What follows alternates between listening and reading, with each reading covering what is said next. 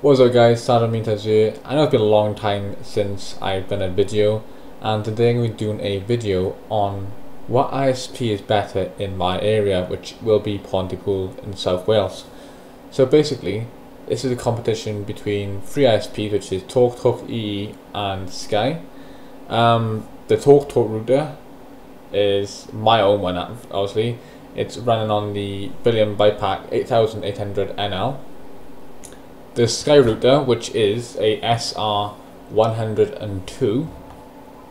And finally on the EE network, I am running my other Billion BiPAC 7800N. So guys, stick around for the video and we're going to determine the best ISP, well most recommended ISP by reliability and speed over line tests. Thank you. So the Sky stats.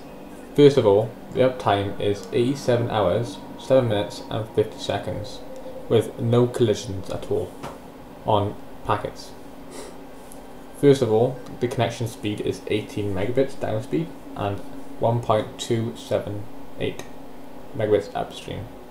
Line, ah, line attenuation downstream is 31.0 decibels with the upstream of 18.0 decibels. Noise margin is 13.3 decibels with upstream of 5.5 decibels. These are very good regions. Usually the exchanges will obviously fluctuate and the DSLAM will change these. But at the minute, the DSLAM is pretty strict and it's actually got very low because it got very good lines. So here we have the Billion BiPAC 7800N.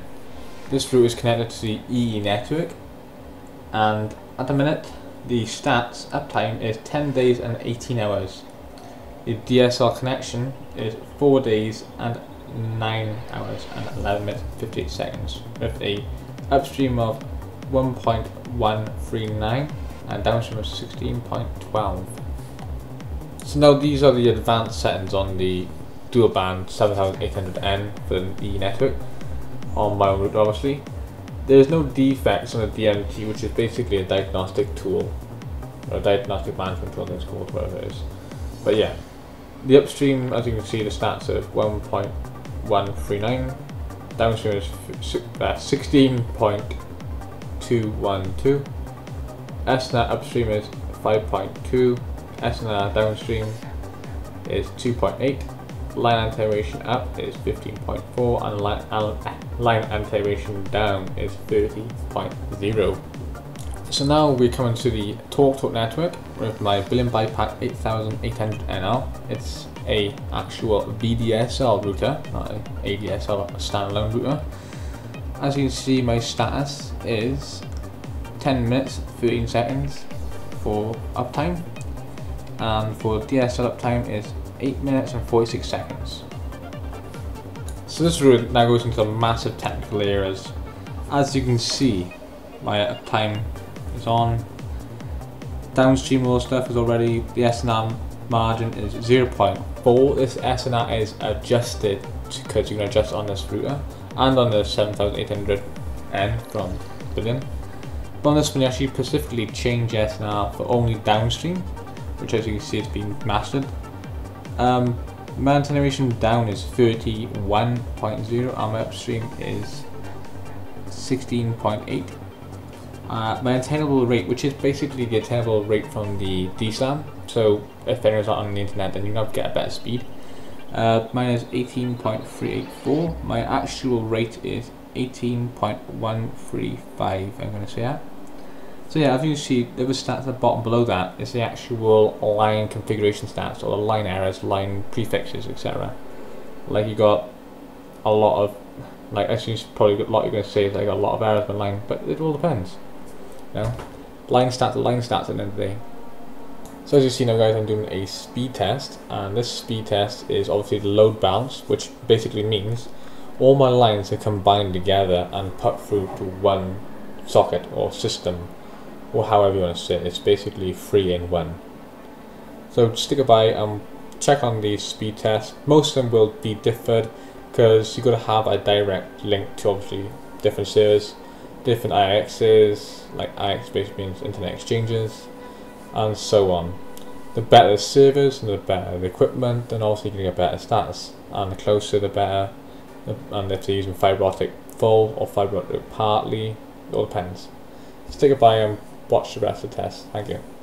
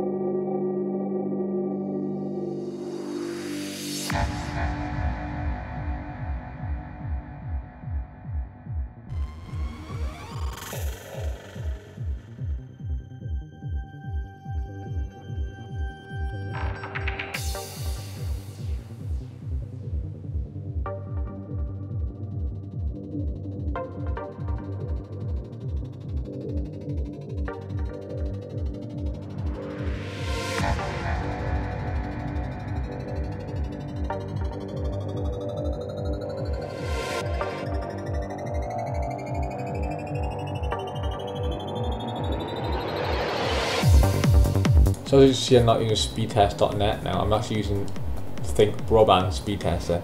This is a total different one. This is either done by TCP tests or UDP tests, all depends. I don't really exactly look into it, but it's just a test. the tech check overall bandwidth. Obviously this is not accurate, but it's still showing my download speed.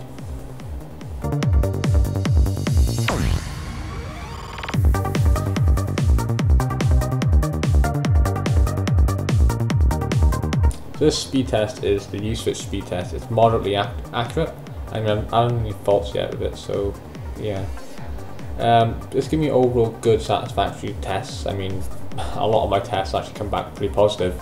So yeah, if you want to use a speed test, this one is good and speedtest.net on different types of uh, exchanges like Milton Keynes is okay, um, exchanges in America like the Tower Stream in New York, that's pretty good as well.